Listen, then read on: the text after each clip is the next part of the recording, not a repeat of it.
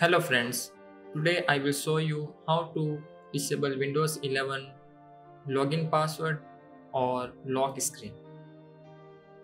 So let's go and start the video.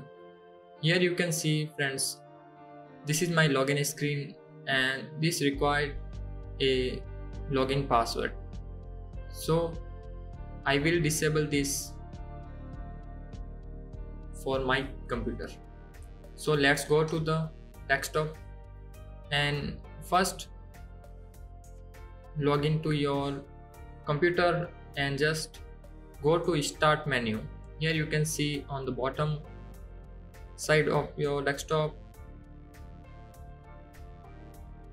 this is the start button and right click on it. Don't click left. Right click on it and you will see option called computer management. Tap on computer management.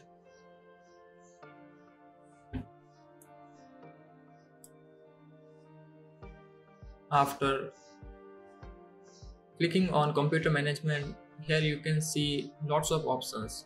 So go to local users and groups. Tap on users. And here you can see friends these are the users of this computer.